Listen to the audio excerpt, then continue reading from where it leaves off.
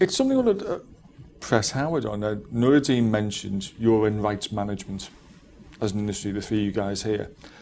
And you all nodded in agreement when CI Plus was mentioned, which we advocate as a good move for the industry.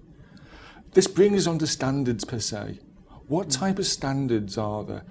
And as markets, as we know, where the standards in markets, that's why they rapidly take off and evolve and really flourish. What do you think are going to be the standards for content protection? Can there be? Can, will there be, for example, the DECE and the ultraviolet brands? This is, a, I mean, how much time do we have? as much time as you wish. I, I think that um, that obviously standards have a place, and they've, you know, we, we all know that and have benefited from uh, you know, standards such as DVB over the years, where where um, you know a common um, set of um, APIs and, and and its interoperability has has really worked enormously well for every for everybody in the industry.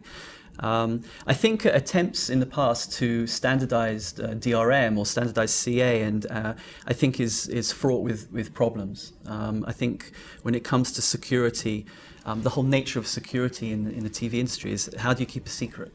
How do you make sure that um, if there is a problem in one one market or on one device, that it doesn't uh, domino on every device? And I think that is ultimately when you have one authority that is going to be responsible for licensing and for um, uh, ensuring robustness and uh, and compliance.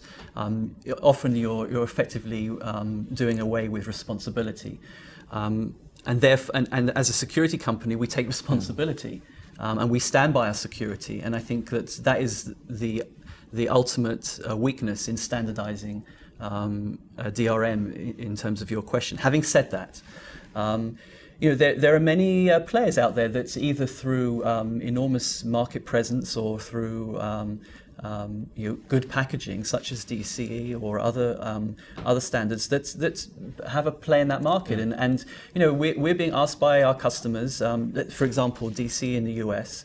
Um, and we will we will support that, and we, we will we will incorporate that into into our offer. But it's um, you know in some ways uh, you know we we you know, DRM is almost um, you know a, a, zero billion dollar business, right? It's it's like in some ways, yeah, look, we'll give away the DRM yeah. um, because uh, you know we want to you know uh, particular players want to try and um, you know enable the market. On the other hand, um, again, it comes back to how I get, how am I going to ensure that a service a service is being is being provided that is you know is reliable and and and works for the yeah. for all the players in, in that ecosystem. So um, you know, to, to give you the, the short answer of, you know, it, it's yes, there mm. are standards. They have a place. They can be implemented and are being. I mean, in terms mm. of NDS, we do embrace them, um, but I don't think it answers every question. Fair.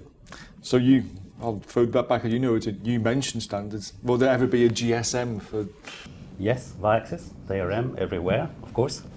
Uh, no, I mean, just just kidding. I mean, there is need for standards for interoperability because at the end, uh, uh, content has to be made available over a number but of as a DRM provider, you can provide that interoperability. Yeah, I mean, you can you can uh, support multiple DR, DRMs or, yes. or um, means for delivering content in different formats. Exa- that's and, exactly and what. I, I don't yeah. see that that has to. No, no. I mean, I'm, I'm, I, don't, I don't think the standard has to apply to DRM as such because that's the area where there is a need for Uh, uh, uh, short also be reactive enough for uh, pay TV and guest content service provider to and give them control over their business model and uh, and over the technology they need to drive the, the, their business. You mentioned DECE and ultraviolet. It's not a, a, unique standard there. And they are mentioning a number of there, and this is going to it's even there. It's about interoperability between yes, solutions. It is. It's not, and and uh, even such initiatives are ultraviolet is pushing a given business model, which, which is electronic sell-through. Not all our uh, customers and content service provider are willing to do only electronic sell-through. They want to be flexible on business model. So there's clearly no benefit from having a unique uh, DRM standard because uh, of the reason that's our recall, which are dealing with life cycle of security that's um, naturally not consistent with the timing it requires to upgrade standards, etc. and also because uh, to give the uh, freedom for uh, pay TV and content service providers to deploy the, their business model and differentiate the offer, they require solutions that are end user centric and operator centric, that more than a standard that unify the experience and the offering for everyone. Which mention this. What stand do you think a standard can emerge go? I don't know. I, I, think it's a very it's a very hard task to, to find someone who will take the, the real responsibility to, to create a standard for the DRM. Or it's not hard to find anyone that want to do it, but to to, to find uh, uh, something similar to the DVB forum that actually will make the standard uh, as a non-profit organization. Because many of the initiatives that we actually see, like the DECE and such things, they are kind of bundled with the business model for uh, the consortium itself, and that makes it kind of a little bit harder to, to, to use it as a standard. Uh, and one of the big challenges with DRM is uh, what uh, what uh, Howard is touching here. This is zero.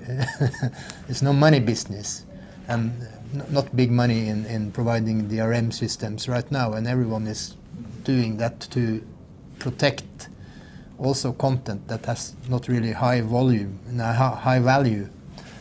So it's, it's not a big business to, to provide the DRM systems for anyone. But, right but in some ways, the whole OTT um, business is, is, is emerging. And I think, um, you know, right now you, could certainly consider that to be niche or a way of doing catch up and um, really maybe uh, reinventing rental. You yeah, know, reinventing um, you know, the sort of on demand mm. into sort of an OTT rental type of, of, of model. But I think here. And it will change. Here we can have a role because we then could uh, present solutions, security solutions that will make uh, more valuable content available.